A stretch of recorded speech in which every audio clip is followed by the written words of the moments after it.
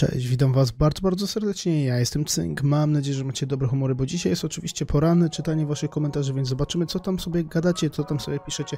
Może znów mnie obrażacie, nie wiem, ale się dowiem. Tak czy inaczej, weźcie sobie kawkę, herbatkę bądź zupkę lub drinkę, jak co po niektórzy i życzę smacznego i żebyście się nie nawalili zbyt szybko, żebyście mogli przynajmniej posłuchać tego, co mówię.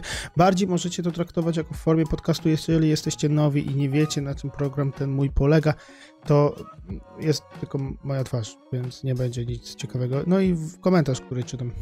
To tak w skrócie. Zapraszam serdecznie. Mm, jakiś taki dzisiaj czuję się wyciszony, nie wiem co się dzieje. Może do tego, że jest rano i, i zaraz mam do pracy za niedługo, bo u mnie jest trzecia w nocy, u was jest e, czwarta w tym momencie, jak zaczynam nagrywać, więc sporo. Tak czy inaczej, e, już czytam komentarz, żeby nie było.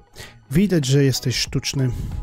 No wiesz, no możesz, masz prawo tak myśleć, no. Dla niektórych właśnie nie jestem sztuczny, ale dla ciebie jak jestem sztuczny, to nic na to nie poradzę, masz takie odczucia. I miej sobie je. Nie przestawaj. Wiem, że to nieproste, by się wybić, ale wierzę, że to by się uda. Bardzo dziękuję, to bardzo miłe słowa. E, no i powiem wam, że raczej nie przestanę, no chyba, żeby coś mi się stało, to wtedy bym przestał, ale raczej nie przestanę, bo w tym wiąże swoją przyszłość. Mam taką przynajmniej nadzieję i nie mam zamiaru z tego rezygnować. Nawet jeżeli ktoś mnie obraża, co się już teraz coraz częściej zdarza, bo te filmy trafiają do większej liczby odbiorców, to mnie to nie, nie, nie zniechęca do dalej tworzenia tych filmików, chociaż tworzenie, jakby to tak zwać, to tak sła, trochę za, za duże słowo, z racji tego, że ja tylko włączam kamerę i, i oglądam coś, póki co tak, na takiej zasadzie kanał mój jest tworzony, więc no, do, trudny, do trudnych prac tu nie należy, ale bardzo miło mi, że ktokolwiek chce mnie słuchać, bo to bez tego to by raczej nie powstał żaden film. No i tyle w sumie ode mnie. Po to kupują obserwujących, bo mają potem kontakty reklamowe, jak widzą takie zasięgi. Ja ci powiem, że mimo wszystko mnie to troszeczkę dziwi, no bo jak są takie firmy, które są porządnymi firmami, no bo jak raczej nieporządne firmy raczej nie płacą jakimś influencerom za to, żeby ich reklamowały, więc muszą zarabiać, mieć jakieś tam duże zyski, więc to muszą być jakieś porządne, duże firmy, ewentualnie bardzo dobrymi zarobkami, małe firmy, ale z dobrymi zarobkami, żeby właśnie sobie pozwolić na to. No i czy oni tego nie weryfikują? No bo ja nie uwierzę, że jakaś porządna, szanująca się firma nie sprawdzi osoby, która promuje ich produkty. No musi wiedzieć, jaką ma renomę, ile osób ją ogląda, każdy post, każdy filmik i tak dalej, i tak dalej. Przecież to trzeba zanalizować. To trzeba sprawdzić. Co z tego, że typiara ma milion pięćset tysięcy subskrybentów, jak jej posty są oglądane tam w tysiącu, dwóch tysięcy odsłon ma, no to przecież to, to się mija z celem. To każdy może sobie wykupić e, po prostu subskrybentów, a następnie wstawiać coś, a jego filmy i tak i tak będą miały zasięgi takie jak przed tym wykupieniem, więc no to jest bez sensu. Ci, osoby, które w ogóle nakłoniły mm, w te firmy i te firmy, osoby, które tam działały w tej, w tej branży, żeby, ją, żeby ona wzięła to i promowała na przykład różne produkty, no to powinno się ich zwolnić, no, bo to jest normalnie aż chore wręcz.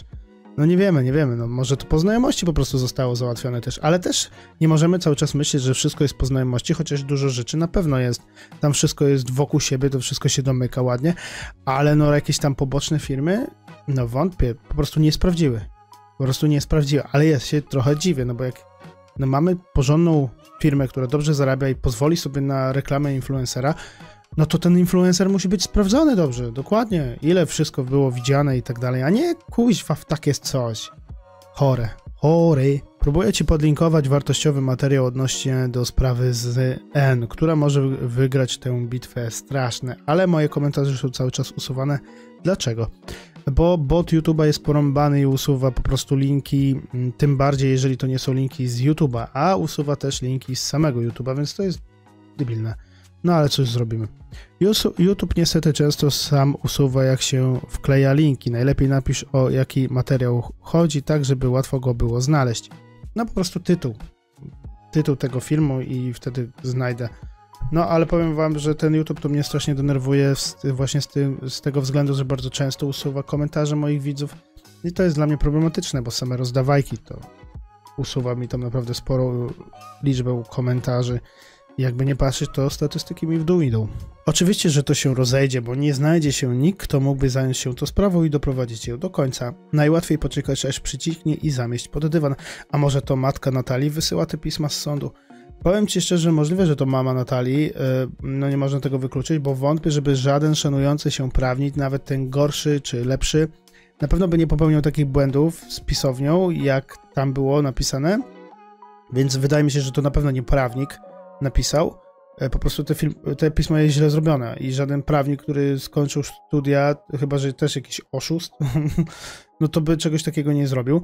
E, I też z drugiej strony, tak sobie na, na logikę, na taką prostą logikę, to wydaje mi się, że mama Natalii wiedziała, że ona jest oszustką, z racji tego, że no ja nie wierzę, że mama, która wspiera działalność swojej córki, nie obejrzała żadnego filmu z nią, że jakby na pewno obejrzała i wydaje mi się, że wtedy zrozumiała, że to są gnioty, a że Natalia nie ma żadnej tam, żadnych ról, więc e, wydaje mi się, że wiecie, no, pierwsze co mi się skojarzyło, no, no nie wiem, jako rodzic, tak?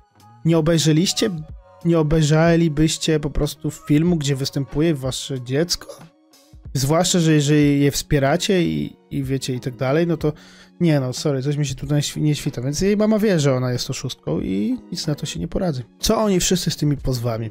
No to taki straszak, nie? Myślę, że jak wyślą pismo, to raptownie się człowiek wystraszy, usunie jakiś tam film, który jest negatywnie mówiony o nich i takie tam bla bla bla. No tutaj to jest kompletnie nietrafione, więc Janoszek to się pogrąży tylko coraz bardziej. Jak tak na ciebie patrzę, to skłaniam się ku temu, żeby jednak założyć swój kanał. Zakładaj, bo a to kto ci broni? Zakładaj swój kanał, chłopie, rób sobie co chcesz i, i mów co chcesz i, i tyle jakby. W ogóle się tym nie hamujcie, Ka każdy może założyć sobie kanał na YouTubie. E, ja mam o tyle szczęście, że po prostu nic praktycznie jakiegoś trudnego nie robię. Ja po prostu oglądam coś i gadam sw swoje myśli. No i ludziom to się podoba, więc to jest fajne, to jest przyjemne bardzo, przynajmniej dla mnie i mam nadzieję, że w przyszłości będę z tego zarabiał hajsy hajsy.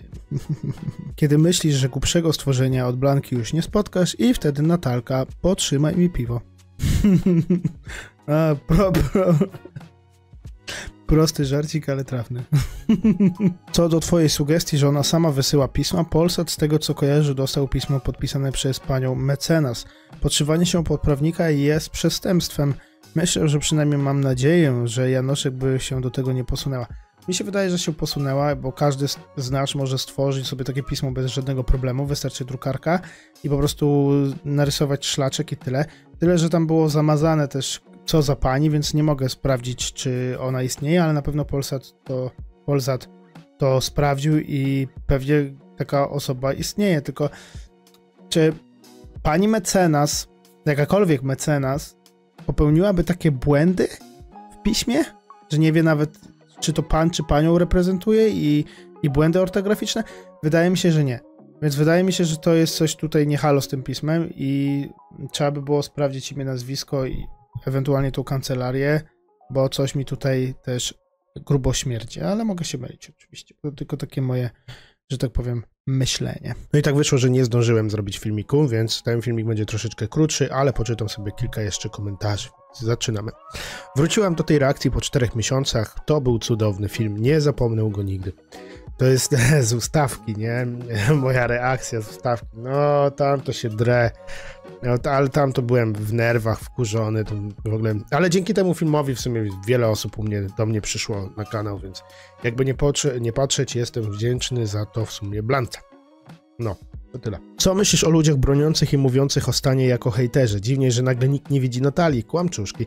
Ja ci powiem, że dla mnie to jest chore i dla mnie to jest nienormalne, żeby go nazywać hejterem, bo on jest dziennikarzem, dziennikarzem, który zrobił dobrą swoją robotę, nie to co 90% polskich mediów.